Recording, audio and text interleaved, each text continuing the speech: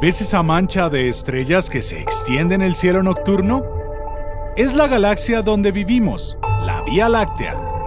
La puedes ver desde la Tierra porque vivimos en su periferia, lejos de toda la diversión que ocurre en su centro.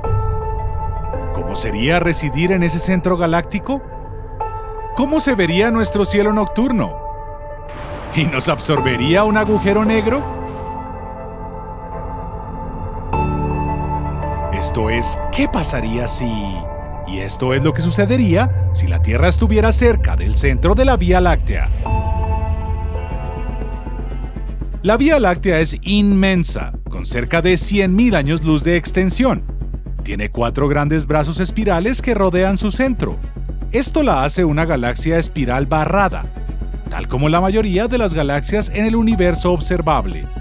Si la Tierra decidiera mudarse al corazón de la Vía Láctea, sería algo desalentador para la supervivencia de cualquier tipo de vida en el planeta. Pero no por el agujero negro supermasivo de la Vía Láctea. La Tierra está ubicada en un barrio tranquilo de una de las estribaciones más pequeñas de la Vía Láctea, el brazo de Orión.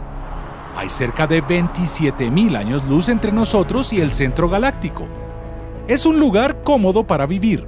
Las temperaturas en la Tierra son las adecuadas para mantener la vida. Y no hay muchos peligros espaciales que puedan acabar con nuestra existencia. No dije que estábamos completamente a salvo, ¿o sí? Vivir en un lugar cercano al centro de la Vía Láctea sería mm, diferente. Todo dependería de qué parte de ese centro la Tierra tendría la desgracia de ocupar. Entre más te acercas al centro de la galaxia, más juntas están las estrellas. Debido a esta alta densidad estelar, la Tierra estaría expuesta a mucha más radiación que la emitida por el Sol. Bajo estas circunstancias, las posibilidades de que surja vida son muy bajas. Pero si la Tierra se mudara al centro de la galaxia todos sus habitantes, quedarías en una muy mala posición. La magnetosfera terrestre no podría protegerte de la radiación espacial que llegaría de todas las direcciones. Esto podría cambiar el clima de la Tierra y provocar la muerte o la mutación de nuestro planeta. Si sobrevivieras, tu mayor preocupación sería un encuentro cercano con una supernova, una supernova ocurre cuando una gran estrella explota, liberando así ondas de radio, rayos X, rayos cósmicos y rayos gamma al espacio. Hasta donde sabemos, un cuerpo estelar gigante podría sacar a la Tierra de su órbita solar. Nuestro planeta estaría rodeado por estrellas foráneas hasta que una de ellas explote en una supernova y acabe con nosotros para siempre pero sería un gran espectáculo para apreciar desde la Tierra, aunque solo por un corto periodo.